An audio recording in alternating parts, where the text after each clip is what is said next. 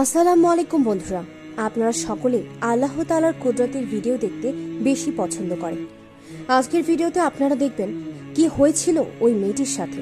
জানলে অবাক হবেন। পুরো ঘটনা জানতে ভিডিওটি না টেনে শেষ পর্যন্ত দেখুন। আজ আপনারা এমন এমন সব আল্লাহর কুদরতের ভিডিও দেখবেন, যে ভিডিওগুলি আপনি এর আগে কখনো দেখেননি। চলুন শুরু করি। মহান আল্লাহ তালার কুদরতের এই ভিডিওটি দেখুন। একটি পোকা বালির নিচ থেকে বের হচ্ছে। দেখুন, এরপরে কি হয়? এবার দেখুন কি হচ্ছে। হঠাৎ করে পোকাটি সম্পূর্ণ বেরিয়ে এলো এবং পাশে দিয়ে যাওয়া মাছটিকে খেয়ে ফেলল।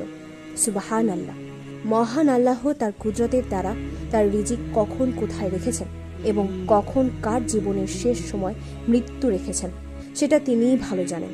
আসুন, আমরা সকলে মহান আল্লাহ তালার ইবাদত করি এবং বিপদ আপদে মহান আল্লাহ তালাকে স্মরণ করি। চলুন, পরের ভিডিওতে যাই। এবার আল্লাহ তালার কুদরতের এই ভিডিওটি দেখুন। একজন মানুষকে ঘিরে ধরে রেখেছে কতগুলো পাখি। আমরা যদি সঠিকভাবে মহান আল্লাহ তালার ইবাদত করি, তাহলে আল্লাহ তালা এইভাবে সবসময় তার রহমত দ্বারা আমাদেরকে ধরে রাখবেন। আমাদের জীবনের সকল বিপদ, আপদ, বালা, মুসিবত থেকে রক্ষা করবেন। আসুন, আমরা সবাই মহান আল্লাহ তালার ইবাদত করি। চলুন, পরের ভিডিওতে যাই। এবার দেখুন এই ভিডিওটি। ভিডিওটি দেখলে আপনি অবাক হতে বাধ্য হবেন।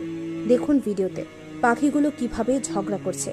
নিশ্চয়ই ভিডিওটি আপনারা প্রথম দেখেছেন।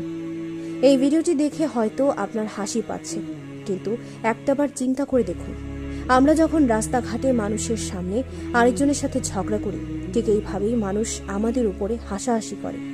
মহান আল্লাহ তালা এইভাবে আমাদের বোঝাতে চেয়েছেন, আমাদের কীভাবে চলতে হবে। ঝগড়া কখনোই ভালো কাজ নয়। আসুন আমরা সবাই ঝগড়াঝাটি থেকে দূরে থাকি। চলুন, পরের ভিডিওতে যাই। আজ এই পৃথিবীতে চারিদিকে শুধু পাপের সমাহার দেখা যায়। পৃথিবীতে খুব কম মানুষই আছেন, যারা মহান আল্লাহ তালার দেখানো পথে চলেন। আর সেই মানুষগুলোর জন্যই আজ পর্যন্ত পৃথিবী টিকে আছে। যেমন দেখুন এই ভিডিওটিতে, নাউজুবিল্লাহ।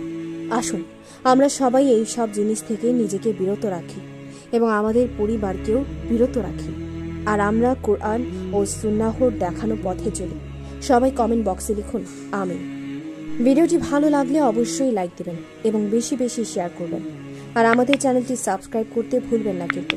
ধন্যবাদ সবাইকে।